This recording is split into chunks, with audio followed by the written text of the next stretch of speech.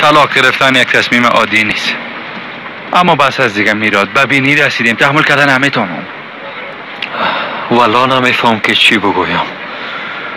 تو خودت باید تصمیم بگیری. همیشه میگن که یعنی خود آدم می‌فهمه که چه قسم زندگی کنه.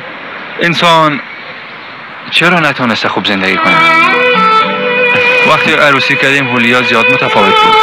می‌فهمی؟ هوشیار خوش اخلاق با درک و مهربان بود.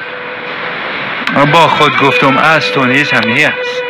یکی دیگه خود دوست داشتیم. راستش حداقل همه قسم فکر می‌کردیم. دو سالم نشد که هولیا یکی یک دم تغییر کرد.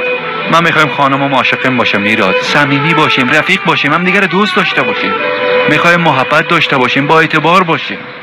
می‌خوایم خانمم بهترین دوستم باشه. حق با توست.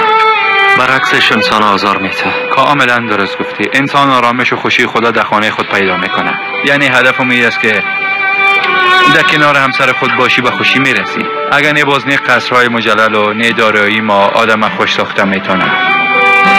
ولا کدتم نظر است.